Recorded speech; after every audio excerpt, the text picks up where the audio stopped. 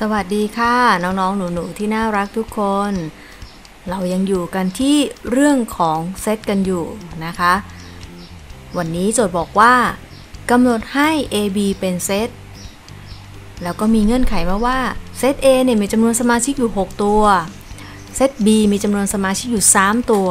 แล้วอยากจะรู้ว่าจำนวนสมาชิกของ A ลบ B union กับ A intersect B เนี่ยเท่ากับเท่าไหร่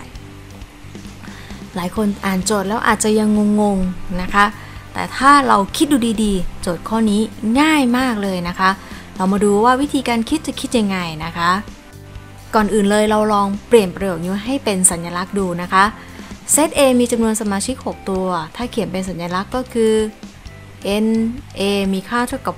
6 เซต B มีจำนวนสมาชิก 3 ตัว ถ้าเขียนเป็นสัญลักษณ์ก็จะเขียนได้เป็น n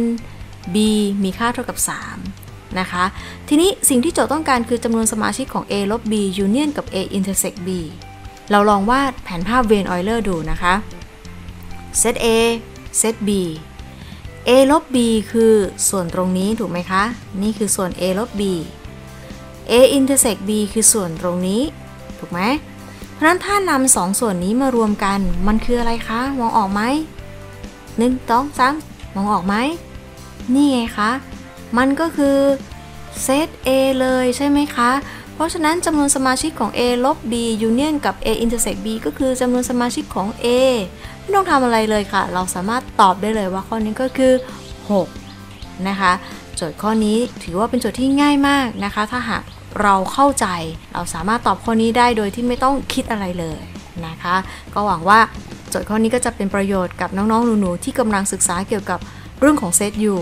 หากชื่นชอบอย่าลืมกดไลค์ กดแชร์ กด Subscribe ที่ช่องหนูเป็นเด็กดี เพื่อที่จะได้ไม่พลาดคลิปใหม่ๆกันนะคะสำหรับคลิปนี้ก็คงมีเพียงเท่านี้ แล้วไว้เจอกันใหม่ในคลิปถัดไปนะคะ สวัสดีค่ะ